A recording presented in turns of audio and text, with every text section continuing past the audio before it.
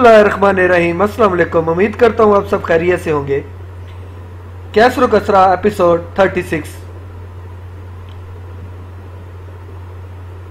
जब शाही मुतरजम इस खत का मजमून सुना रहा था तो हाजरीन दरबार, जिनके लिए ये तहरीर एक मज़ाक से ज़्यादा ना थी, बड़ी मुश्किल से अपने कह के जब्त कर रहे थे। कसरा कुछ देर गुस्से और इसराब की हालत में कासत की तरफ़ देखता रहा। अचानक उसने मुतरजम के हाथ से हजूर का नामा मुबारक छीन कर इसे पुरजे पुरजे कर दिया। और फिर और फिर यमन के हाकम बाजान के नाम ये फरमान लिखवाया कि नबूत के इस मदई को, जिसने हमारे साथ मुखातब होने की जसारत की है, गिरफ़्तार के, गिरफ़्तार करके हमारे पास भेज दो। ईरान के मकरूर और जाबर हुक्मरान के लिए मोहम्मद अरबी सल्लल्लाहु अलैहि वसल्लम का खत, इस कदर गैर अहम था कि हजूर के कासत को सजा देने भी इसे अपनी तोहन महसूस होती थी। लेकिन इसे क्या मालूम था? कि जिस खत को इसने चाक किया था, इसकी तहरीर लोह लोह महफूज पर मुंतकिल हो चुकी थी। और जब हजूर का कासद बेसर समानी की हालत में वापस जा रहा था तो उस वक्त ये कौन कह सकता था कि इसके पाँव के निशान अन करीब इन मुजाहिदों की गुजरगाह बनने वाले हैं, जो मदीना की गलियों में जहाँ बना, नबानी के नए अदाब सीख रहे हैं जहान बानी के नए अंदाज सीख रहे हैं।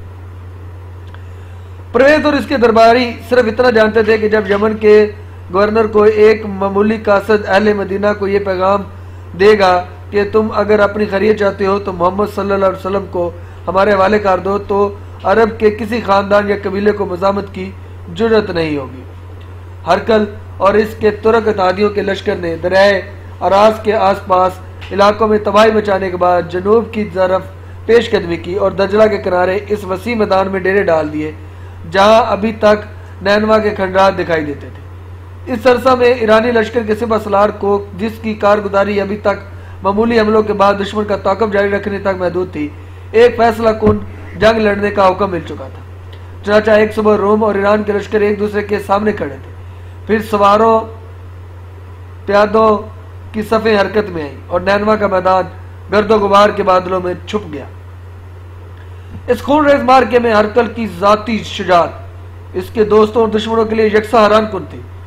वो जान निसारों के एक दस्ते के साथ दुश्मन की समय चीरता इनके कलम तक जा पहुँचा। ईरानी लश्कर के सिवा सलार के अलावा दो मशहूर सरदार इसके हाथों कत्ल हुए। एक ईरानी का नेजा लगने के बायस इसका होंठ कट चुका था। इसके मशहूर घोड़े की एक टांग जख्मी हो चुकी थी। तब वह दुश्मन का घेरा तोड़कर वापस अपने लश्कर से आ मिला।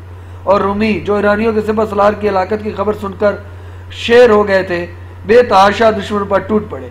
और ईरानी, जिनके नज़दीक अपने सिपा सलार की मौत एक बदतरीन शगुन था, सरासिमजगी की हालत में पीछे हटने लगे।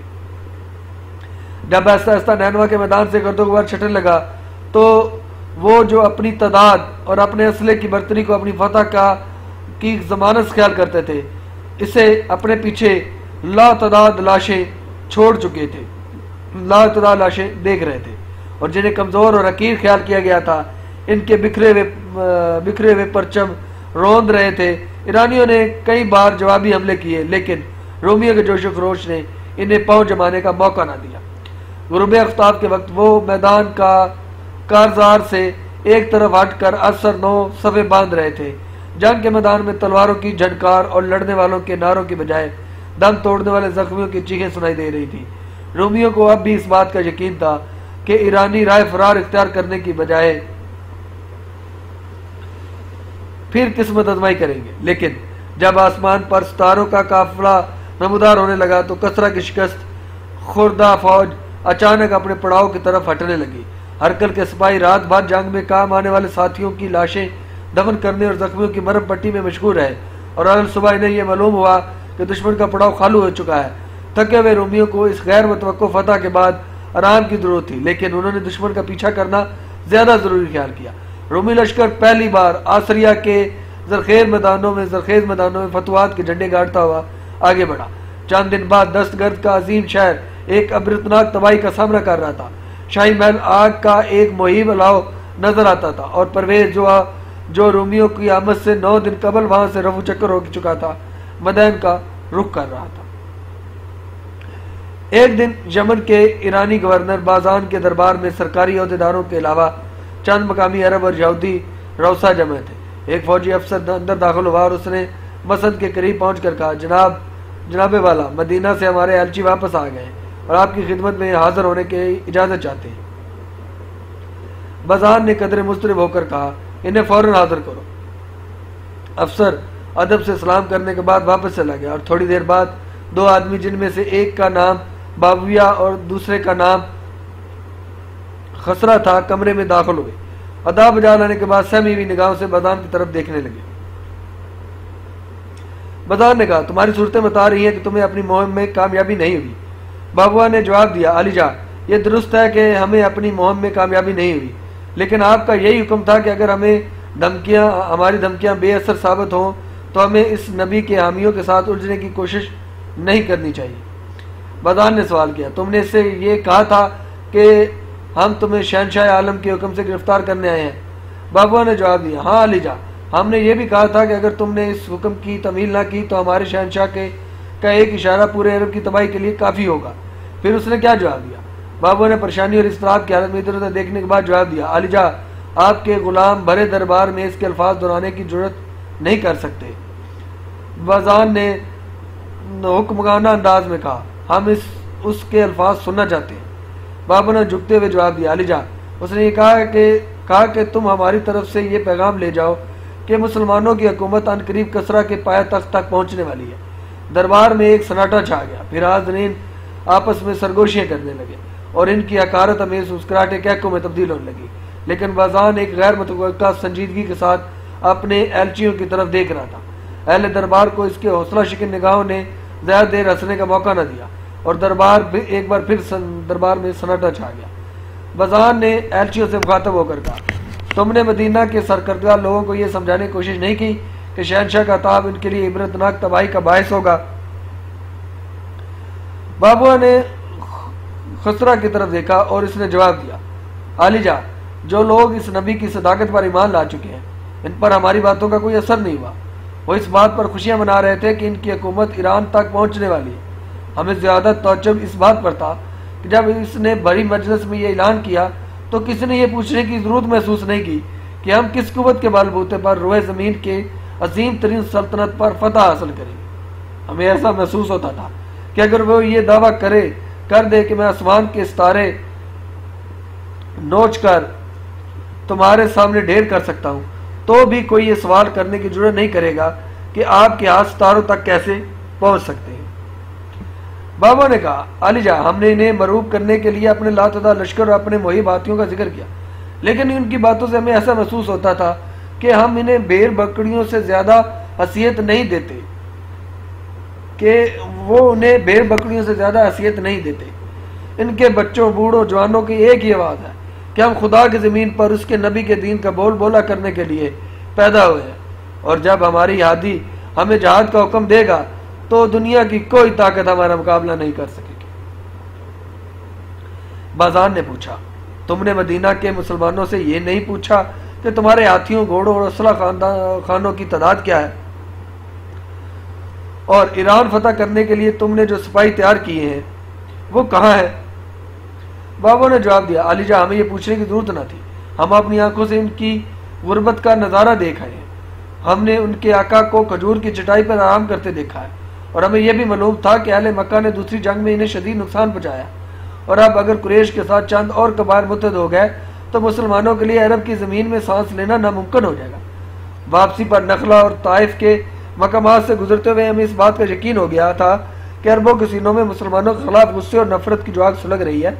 इससे मुसलमानों के घरों तक पहुँचने में देर नहीं लगेगी। हम यसम के यहूदियों से भी मिले थे। और हमें ऐसा ही मालूम होता था कि मदीना से मुसलमानों के अखराज के लिए तना उनकी ताकत ही काफ़ी है। बाज़ार ने कहा, मैं तुमसे एक सवाल पूछता हूँ। और वो ये कि अगर मुसलमानों के नबी को गिरफ़्तार करने के लिए सवारों का एक दस्ता मदीना भेज दें तो इसका क्या नतीजा होगा? बाबा ने जवाब दिया, अली जा मुझे यकीन है कि रास्ते के तमाम कबाइल और मदीना के यहूदी हमारा साथ देंगे, लेकिन मुसलमान अपनी नबी की खातर जान देने पर आमादा हो जाएँगे। तुम्हारा ये ख्याल है कि हमारी, कि वो हमारी और हमारे अलीफों की ताकत से कतर मरूब नहीं होंगे? हाँ अलीजा ये लोग अपने खुदा के सिवा किसी से नहीं डरते। एक यहूदी ने कहा, अगर ये गुस्ताखी ना हो तो मैं कुछ अर्ज़ करने की इजाज़त चाहता हूँ। कहो आलिजा मेरे नज़दीक ये बातें एक मज़ाक से ज़्यादा नहीं। आप मदीना में चंद मुसल्ह सिपाही भेज कर देख लें। मुझे यकीन है कि मदीना के किसी जवीश और इंसान को मजामत की ज़रूरत नहीं होगी। मुसलमान जिस बेचारगी की हालत में मक्का से निकाले गए थे, इससे ज़्यादा बेचारगी की हालत में वो मदीना से भागेंगे। एक अरब रईस ने कहा अलीजा मुसलमानों को अगर इनके हाल पर छोड़ दिया जाए तो भी वो आपके लिए किसी खतरे का बायस नहीं हो सकते। इस वक्त हम सिर्फ़ कसरा की फतह और हरकत की शिकस्त की खुशखबरी सुनना चाहते हैं। नैनवा की जंग के मतलब जो इतला यहाँ पहुँची हैं, इनसे आपकी राया बहुत परेशान है।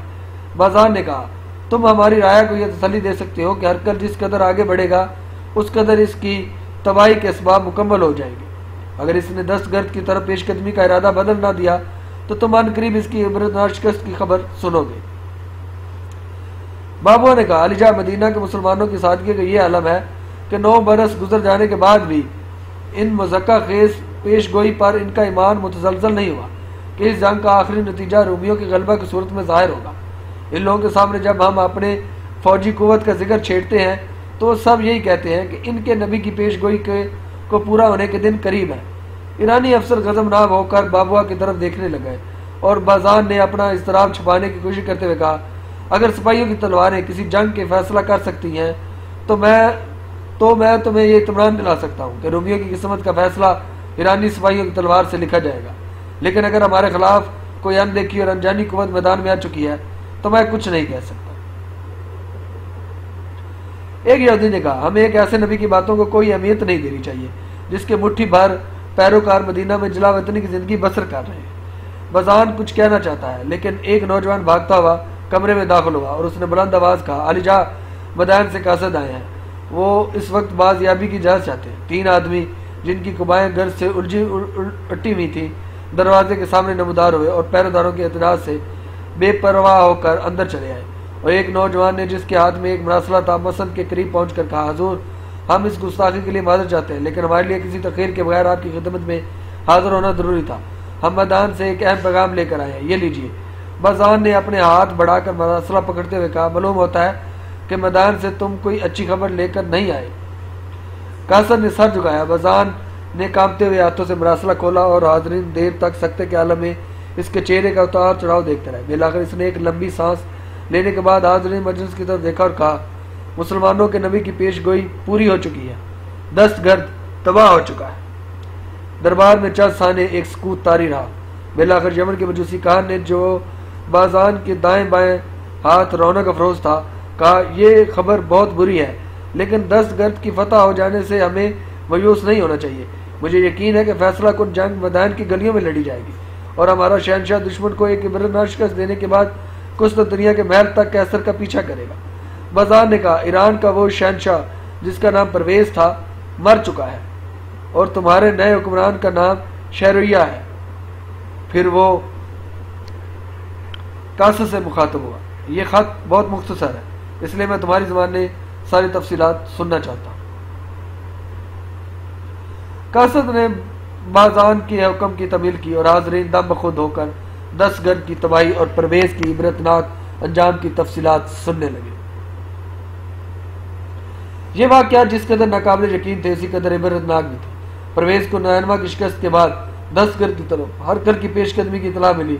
तो इसके खौफ और इसतराब का यह आलम था कि वह रोमियो की आमद से नौ दिन कबल अपने वजीरों और जर्नैलों से मशवरा किए बगैर रात के वक्त एक चुरा, चोर दरवाजे से निकल कर मैदान की तरफ़ चल दिया। इसकी सरासीमगी का यह आलम था कि शाही हरम की तीन हज़ार औरतों में से शीरी और सिर्फ़ तीन लोडियाँ इसके साथ थी।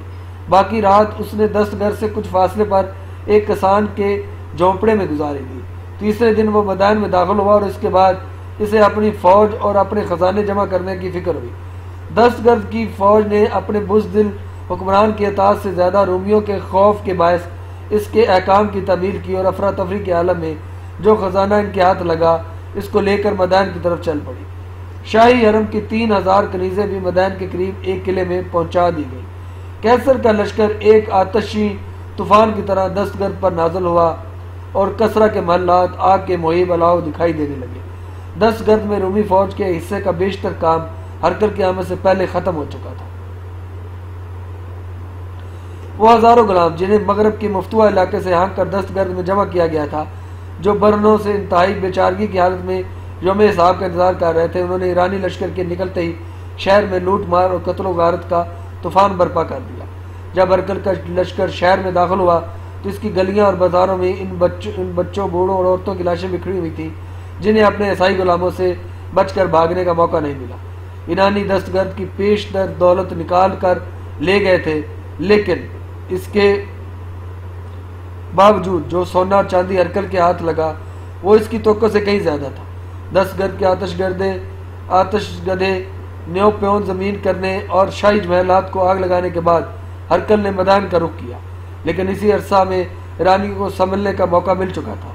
मशरकी इलाकों की अफवाज सासानियों के कदीम दारकूमत को बचाने के लिए जमा हो रही थी और मैदान के करीब पहुंचकर हरकल को इस बात का एहसास होने लगा कि इसकी लश्कर कई हफ्तों की मुसलसल बेआरामी के बायस नडाल हो चुका है। इस हालत में इसके लिए ईरान के इस शहर अजीम शहर पर जलगार करना खतरे से खाली नहीं, जबकि बशिंदे फौज की आनत के बगैर भी कई दिन इसके लश्कर का मुकाबला कर सकते हैं। दस गर्म में इसे गैर मतवक़ कामयाबी हासिल हुई थी और इसकी वजह परवेज़ की बुजदली थी, लेकिन मैदान की आबादी पर परवेज़ से ज़्यादा उन मगरूर सरदारों और मजूसी कानों का असर था, जो इसकी बका और सलामती के पूरे ईरान की बका और सलामती का मसला समझते थे। जिनके कदीम रवायात से ये तो की जा सकती थी कि वह अपने हुक्मरान की बजदली और बगैरती को एक और मुजाहरा करने की इजाज़त नहीं देंगे। हर कल अपनी अजीम फतवात के बाद किसी नाकामी या शिकस्त का मामूली ख़तरा मोल लेने के लिए भी तैयार ना था। चनाचा उसने मजीद तैयारियों के बाद ईरान पर आखिरी जरब लगाने की नीयत से अपने लश्कर को वापसी का हुक्म दिया। और अब उसकी मंजिल मकसूद तबरेज का इलाका था।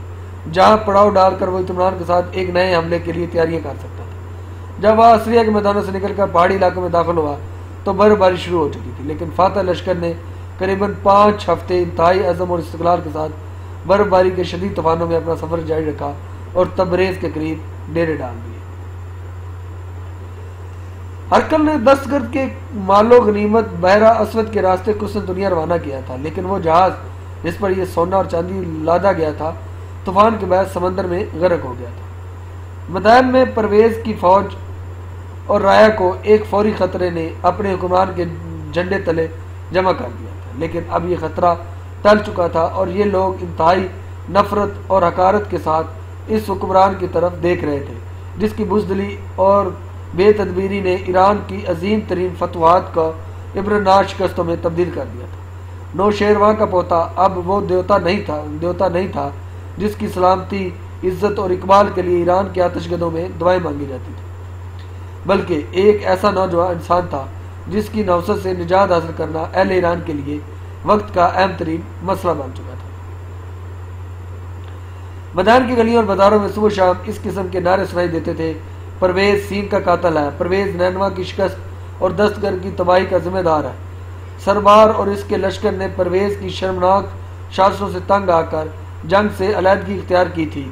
ईरान के लाखों जवान जंग में आकाम आ चुके हैं। अब हम एक सफाक बादशाह की तस्कीन के लिए, तस्कीन के लिए ज़्यादा खून मुहैया नहीं कर सकते। ईरान को अमन की ज़रूरत है। सीन हरकत की तरफ़ से सुलह की पेशकश से पेशकश लेकर आया था। लेकिन परवेज ने इसे मौत के घाट उतार दिया। हमारा दुश्मन हरकत नहीं, परवेज है। रूमी ने हमले की तैयारियाँ कर रहे हैं और अब इसके साथ मसालत की यही सूरत है कि हम परवेज से निजात हासिल कर लें। परवेज से अवाम के जज्बात पोशीदा ना थे। वो जानता था कि अब इसके तबाह राया, इसे नफरत और अकारत के सिवा कुछ नहीं दे सकती। अपने हाल के मतलब इसकी परेशानी और मुस्तबिल के मतलब मुजस्सी अपनी इंतहा को पहुँच चुकी थी। इसके जेन और जिसमानी कवि मफलूज हो चुके थे। अब इसे शराब के नशे में भी उन लोगों की चीखें सुनाई देती थी, जो इसके हुक्म से तख्तादार पर खिंचे गए थे। बिलाकर एक दिन उसने अपने उमरा को बुलाया और उनके सामने अपने अज़ीज़ तरीन बेटे मरदाजा के सर पर ताज रखने की ख्वाहिश ज़ाहिर की। लेकिन उमरा के नज़दीक एक शिकस्त खुर्दा बादशाह का हुक्म हर हुक्म की हर ख्वाहिश बेमानी थी।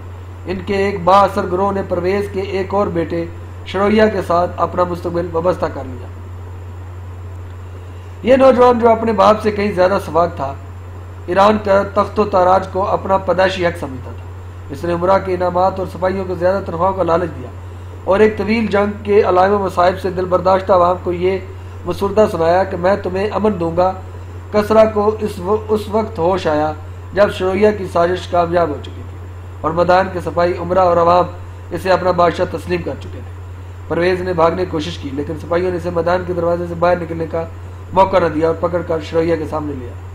श्रोया ने अपने बाप की आँखों के सामने यके बाद दिगरे अपने अठारह बहन भाइयों का सर कलम करवा दिया। अठारह भाइयों के सर कलम करवा दिया। और इसके बाद इसे मैदान की कैद खाने की एक तरी कोठरी में बंद कर दिया। और इस तरी कोठरी में ईरान की हालत जलगाह ईरान की हालत इस शख्स की थी, जिसे जीते जी कब्र में उतार दिया गया। अपनी ज़िंदगी में हज़ारों बेगुनाह इंसानों को जो अजीतें इसने पहुंचाई थी। वो इसे अपने बेटे के हाथों पहुँच रही थी। भूख और प्यास की हालत में इसे अपनी इल्तजाएँ चीखों और सिस्कियों के जवाब में सिर्फ़ अपनी आवाज़ ही सुनाई देती थी।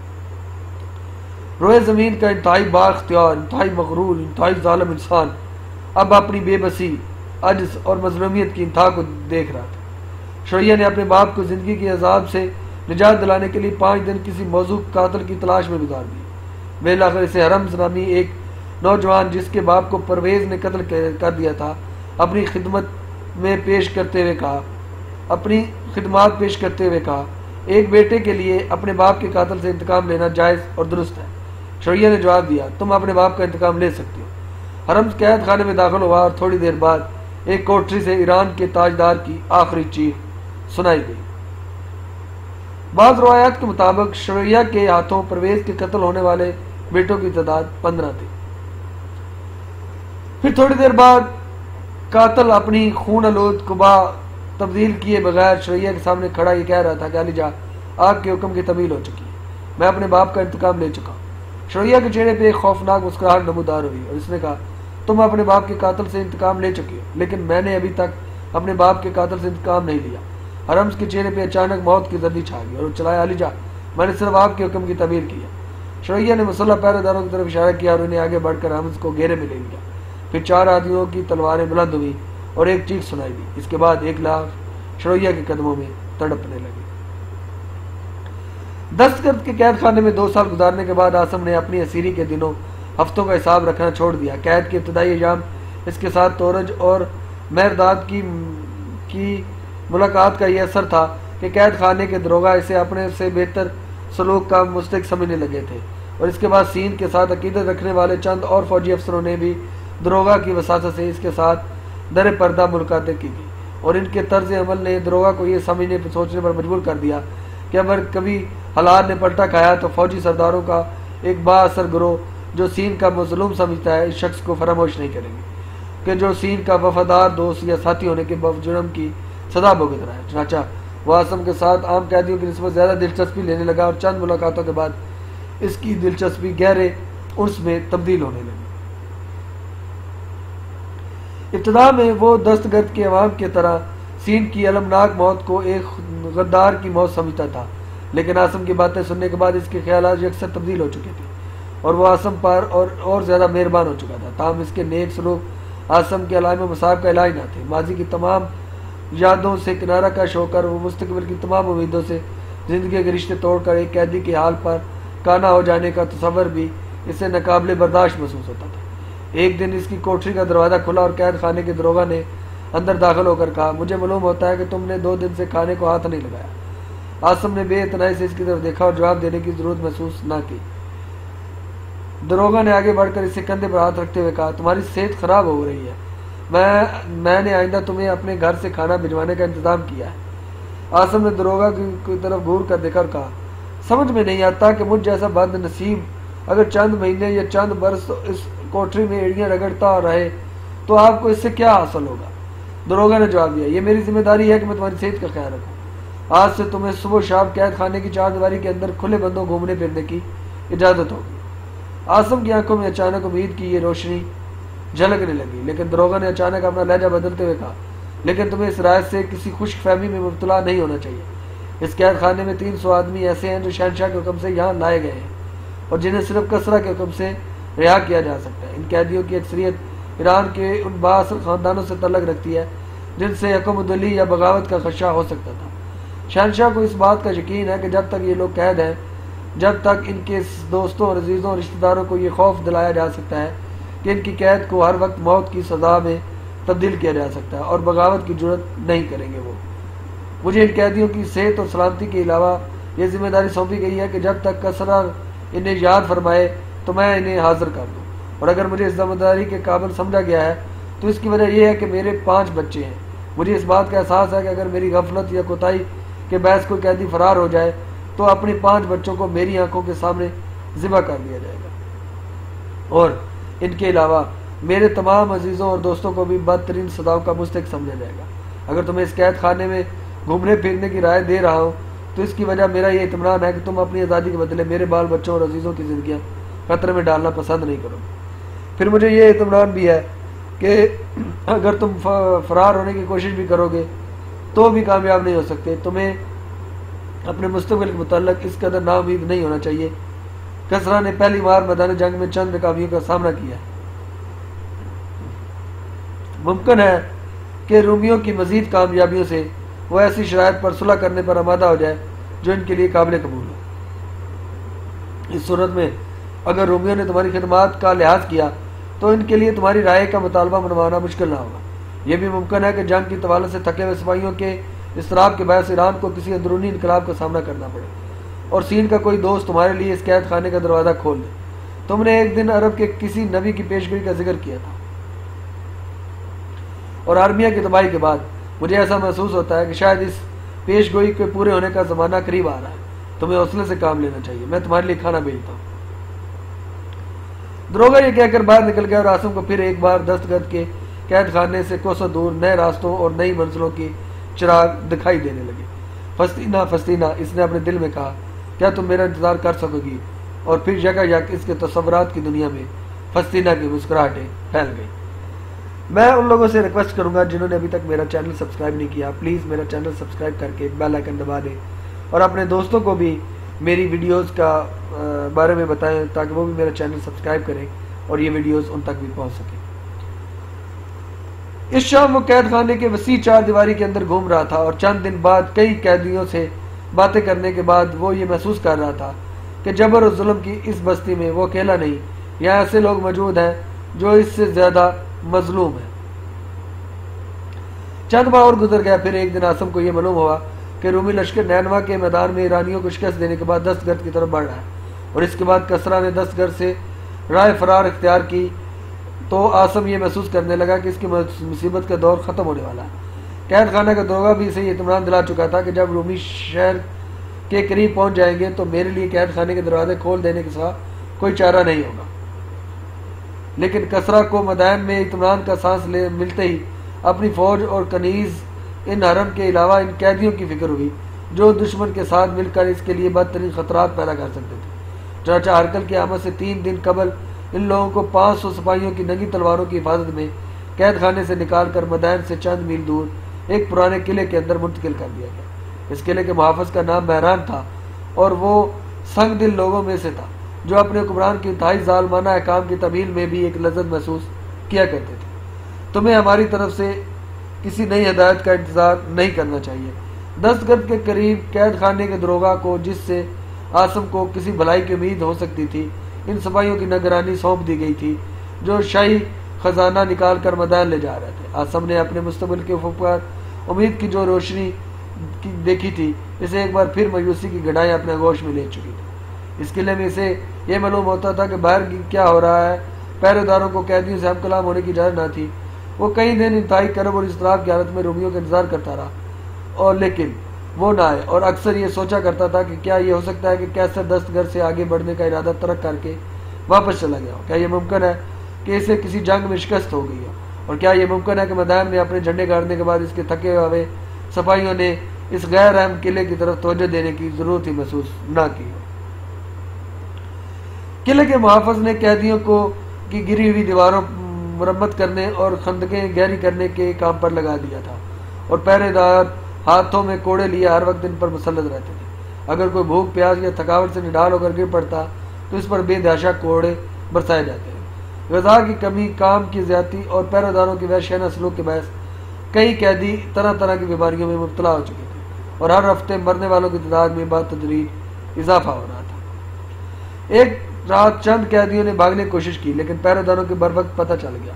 चनाचा उन्होंने भागने वालों का पीछा किया और वो कैदी, जिन्होंने मजम्मत की कोशिश की, मुसल्ला सवारों के हाथों मारे गए और चार गिरफ़्तार कर लिए गए। और सिर्फ़ वो ऐसे, और सिर्फ़ दो ऐसे थे जो दरियाए दजला अबूर करने के बाद कहीं रपोश हो गए थे। गिरफ़्तार होने वाले चार आदमियों को किला के दरवाजे के एन सामने फांसी दी गई थी और कई दिन तक इनकी लाशें वहीं लटकती रही। फिर एक दिन जब ये लाशें हड्डियों के ढांचे में तब्दील हो, हो गई थी सरपट सवारों का एक दस्ता किले के दरवाजे के सामने रुका। एक उम्र रसीदा आदमी ने जो अपने लिबास से कोई बड़ा अफसर मरूम होता था फसील पार से नीचे झाँक झांकने वाले पहरेदारों की तरफ़ देखा और बुलंद आवाज़ में कहा दरवाज़ा खोलो हमें शहनशाह ने भेजा है। थोड़ी देर बाद दरवाज़ा खुला और किले के मुहाफ़ चाँद सिपाहियों के साथ बाहर निकल आया। मुझे पहचानते हो? उमर सीधा आदमी ने किसी तो के बगैर पूछा। चंद किले के मुहाफ़ के मुँह से कोई बात न निकल सकी। भीड़ आकर उसने कहा, तुम ससान हो। तुम इस किले से फरार हो गए थे। ससान ने कहा, अगर चंद दिनों में तुम्हारा हादसा बहुत ज़्यादा कमज़ोर नहीं हो गया तो मेरे दो और साथी इस जगह मौजूद हैं। किले के मुहाफ़ ने बाकी सवारों की तरफ़ देखा और इसकी निगाहें दो आदमियों पर मरकूज होकर रह गई।